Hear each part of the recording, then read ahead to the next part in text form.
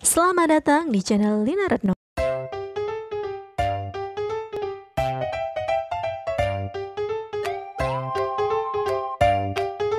Mari belajar materi kelas 4 tema 1 subtema 3 pembelajaran 6 Semangat belajar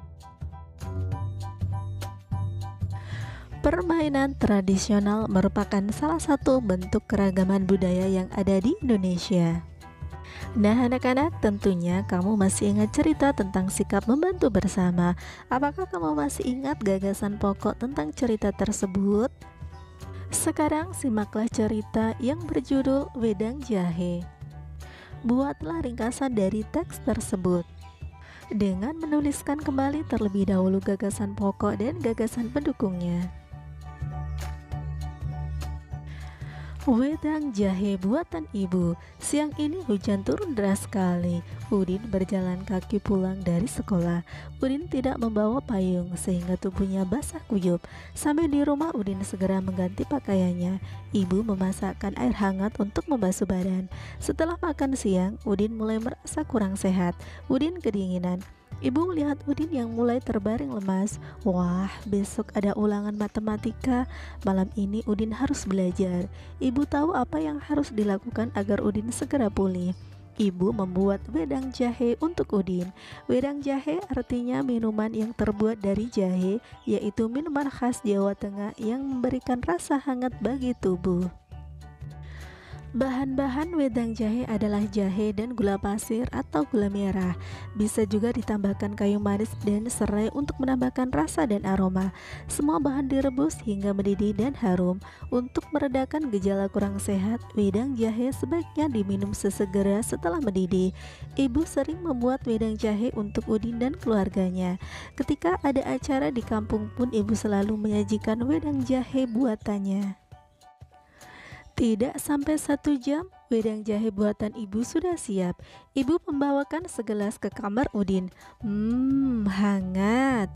Rasa dingin dari tubuh Udin perlahan hilang. Malam itu, Udin pun bisa melanjutkan belajar matematika untuk menghadapi ulangan besok.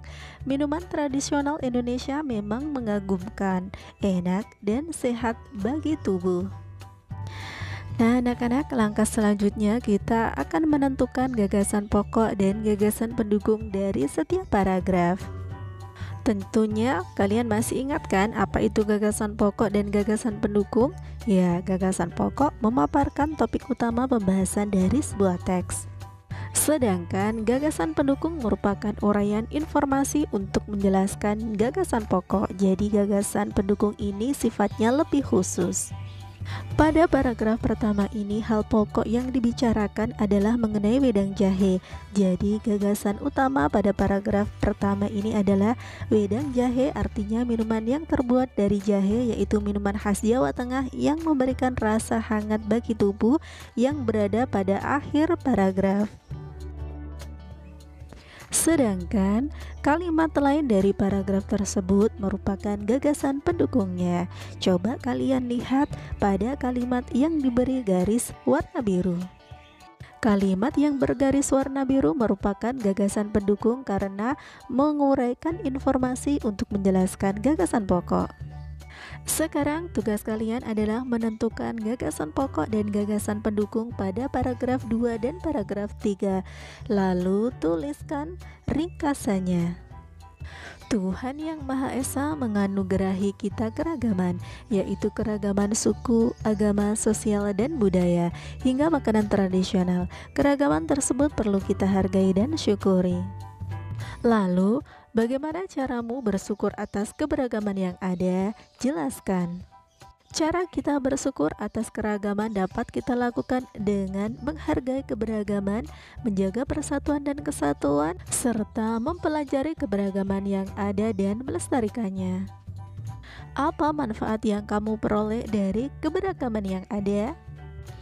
Tentunya kita akan memperoleh pengetahuan tentang keragaman suku, agama, sosial, budaya, serta menjadikan kita lebih bersyukur atas ciptaan Tuhan Yang Maha Esa. Terima kasih telah belajar di channel Lina Retno. Jangan lupa subscribe.